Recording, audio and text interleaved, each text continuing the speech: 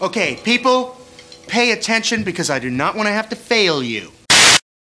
Art, art, art, art 101 with Mr. Burgher.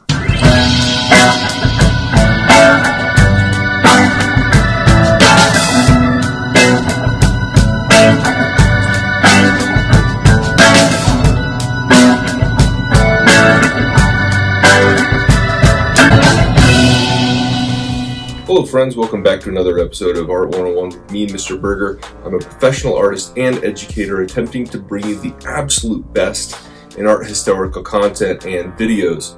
You're in my world now, Grandma. And as always, I appreciate the likes, shares, and new subscribers.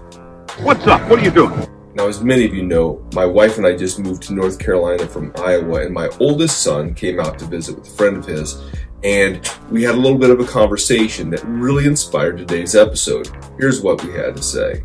If, like, let's say you could find out about any painting that was ever created, which one would you want to know about? She doesn't know any of them are.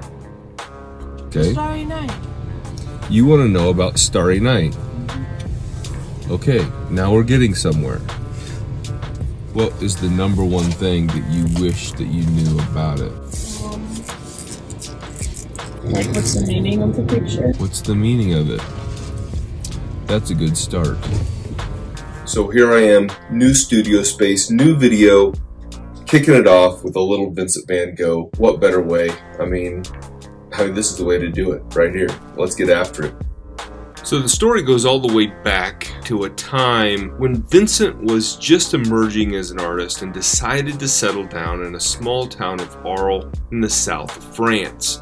He puts down roots and really begins to emerge and was very prolific, very much a working artist. And he creates lots and lots of pieces. He would create portraits, still lives, he would do some study work, and he would even do some landscapes. One day, lad, all this will be yours. What, the curtains? No, not the curtains, lad. What do I know? I color for a living, but I know that there are two Starry Nights. Now, one of those landscapes was the Starry Night over the Rhone. Now, he would create this picture in September of 1888 on the bank of the Rhone, which was only a few minutes of a walk away from his yellow house. It is said that he would put candles around the brim of his hat in order to see at night to paint this on location in the evening hours. He loved to be in the crisp night air, enjoying himself along the banks of the river, participating in one of his favorite activities of painting, obviously. Dead giveaway. That same year, Gauguin would move in with him for a very short period of time, from late October until Christmas. Basically, in a nutshell, after an argument with Gauguin, he would retreat to the Yellow House where he would have an epileptic seizure, resulting in the lower lobe of his right ear being cut off. Because it was unexplainable at that time, because there was no medical history, the townspeople were very much against Vincent. They were against these artists being in town, being somewhat of a nuisance and low class. And because of the psychological, manic depressive nature of Vincent anyway, he chose to check himself into a mental institution. Why would you do such a foolish thing? On May 8th, 1889, Vincent would check himself into an asylum. Again, there he was free to create paintings and work, and he was very productive during that time. However, there were rules against some things and not other things that he was accustomed to, and one of the rules that he could not really deal with very easily was the rule that he was not allowed to go outside at night. Sunset? Oh no! I, I mean, And so, using some of his previous works as a guide and some of his observations of the early morning sky, he would create Starry Night as a way to remember his freedom to go out at night, the crisp, clean air that he loved to breathe in. And so he does not create this solely from observations, but from observations along with his own memories and feelings of that time. We see the wind blowing through the sky. We see the halos around the stars, which was very symptomatic of someone that was suffering from lead poisoning. Go back and check out my other video to get more details on that. However, moving forward, the painting was created in June of 1889 and some say that the sky is referenced from his view from his asylum window in part, again as well as from elements from his memories. Within the sky, we see the moon, which depicts a sunrise effect on the moon, as well as that low bright star, which is likely the planet Venus. It is without question that Starry Night may be the most recognizable painting that Vincent had produced. And he produced lots of very memorable works, but this might be the pinnacle. It has been recreated by numerous artists. It has been studied by art historians for decades. It has been recreated in poetry by the likes of Tupac Shakur and in song by Don McLean. Well, I guess that's a tragedy right there. As I've elaborated on before in this and other videos, Vincent was a manic depressive. Vincent had his issues without question. So did he do it because he was crazy? Hell no. No, no. Nope. No, no. No. No. No. No, oh no, sir. Oh, no. No, uh-uh. But to say that he was crazy is completely absurd. And we can even trace back the notion that he was insane back to a specific point in time. As a side note, the whole thing about Van Gogh really being crazy is Nazi propaganda. Nazis. In the 1930s, Adolf Hitler was gaining power in Germany. The goddamn Germans got nothing to do with it!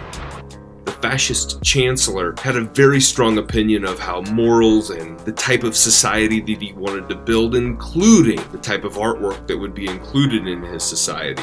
You can check out my video on degenerate art for further information. However, for the sake of Vincent, I will rant on this for just a moment longer.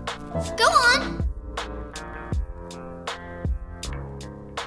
Anything that was not idealized perfection or photorealistic by the eyes of Hitler or the upper echelon of Nazi politics was deemed degenerate. It was deemed less than. If it was not white Christian, it was not accepted. Even German Nazis like Emil Nolde suffered the consequences because of the style in which they created because of the style of painting, and because he put himself into a mental institution, because medicine didn't know the ins and outs of epilepsy. Medicine didn't understand all of the side effects of lead poisoning. Vincent was labeled as crazy because he committed suicide, he was viewed as this slobbering madman that just created artwork on instinct without any sense of skill or any sense in his mind, which is utter nonsense. He don't know what he's doing. I don't think both of his paddles are in the water.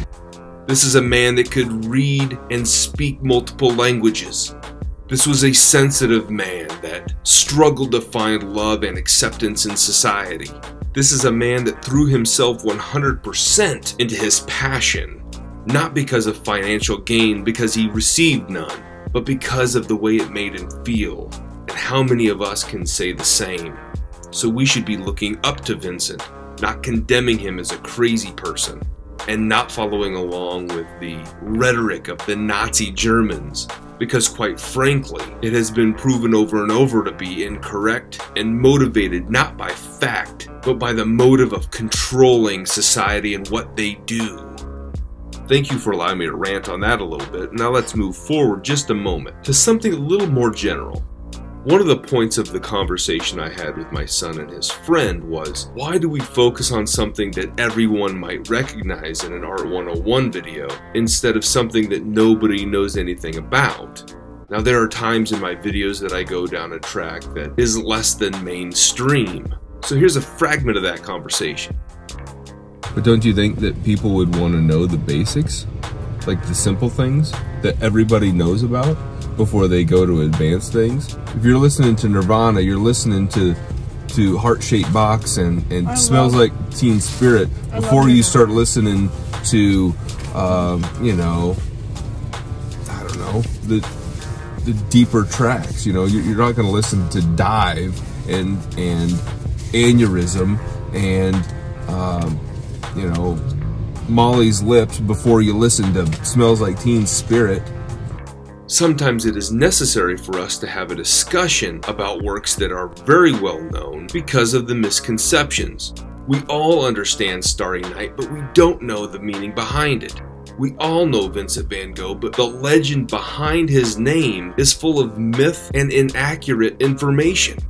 Sometimes the things that are the most recognizable are the things that are the least understood.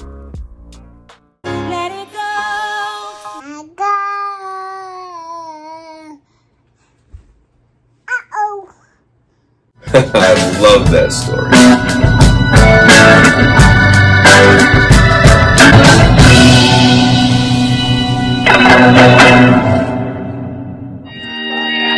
Bye bye.